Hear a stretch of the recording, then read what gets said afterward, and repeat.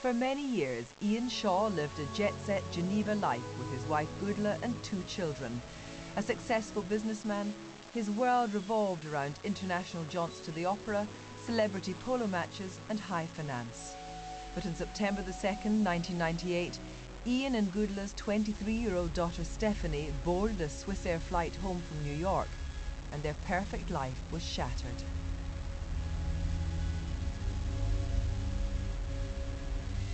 Swissair 111 to 128.75.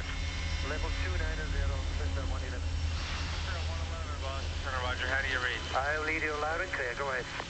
Shortly after takeoff, the flight crew reported smoke in the cockpit.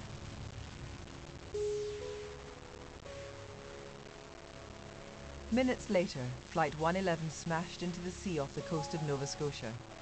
The nearby fishermen of Peggy's Cove and Bayswater were the first to arrive at the point of impact. They quickly realised that the plane had hit the sea with such speed that it and everything on board had completely disintegrated.